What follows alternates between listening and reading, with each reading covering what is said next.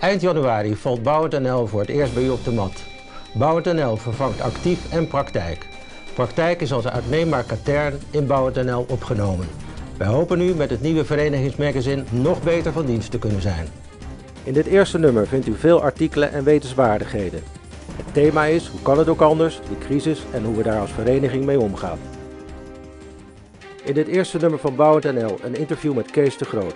Hij treedt af als bestuurslid. Kees vertelt over hetgeen de vereniging voor onder meer de infraleden. Het grote verschil tussen Bouwen Nederland en zijn rechtsvoorgangers bijvoorbeeld in de infra zoals NVB en Vianet is de grote sprong vooruit die we gemaakt hebben op het gebied van belangenbehartiging. Vroeger vanuit de lappendeken van verschillende werkgeversorganisaties lukte ons dat heel moeilijk. Nu met Bouwen Nederland is dat een heel groot succes. In Bouwend.nl vindt u ook elke maand een kijkje in de keuken bij een van de leden van Bouwend Nederland. Dit keer bij Dennis Kobbelens van Aan de Stegge uit Roosendaal, die bezig is met de bouw van twee appartementencomplexen in de Raamsdongsfeer.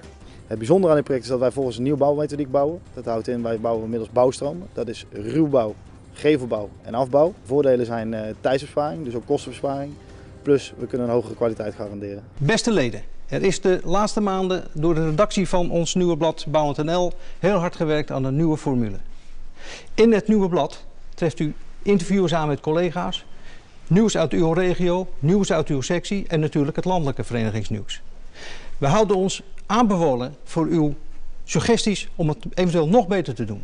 Het is namelijk uw blad.